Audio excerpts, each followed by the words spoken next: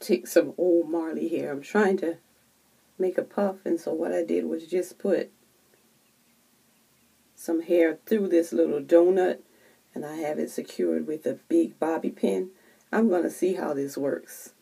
Never did this before. This is my experiment. Hang in there with me. So far, this is what I have. And what I'm going to do is I'm just going to weave this through. Back, through, and around.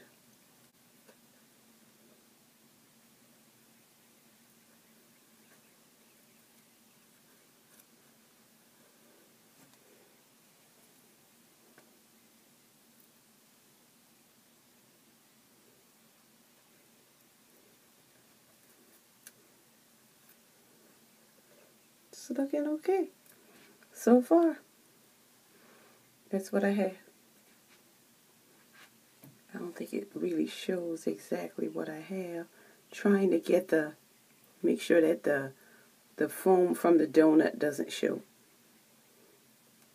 So all I'm doing is I'm taking it around, bringing it back through, taking it back across.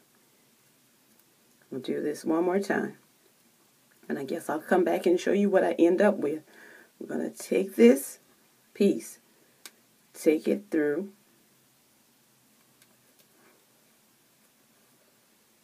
pull it through the little donut hole. And I guess all I'm making is a messy bun. Because it sure looks messy. And I plan to put this on the back of my flat twist. So we'll see what it looks like. This is what I have now. Pretty much an experiment for me, this thing right here.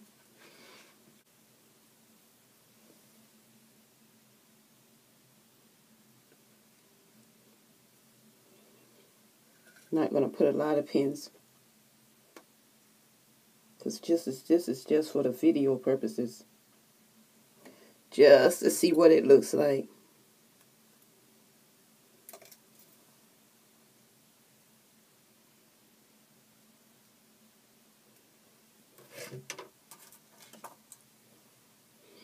Use about four pins to set it right now.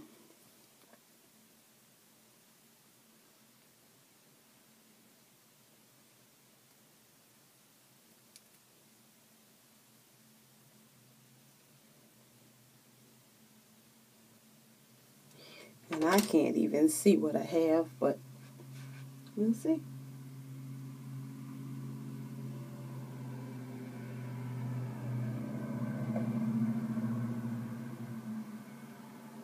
I don't think that's too bad.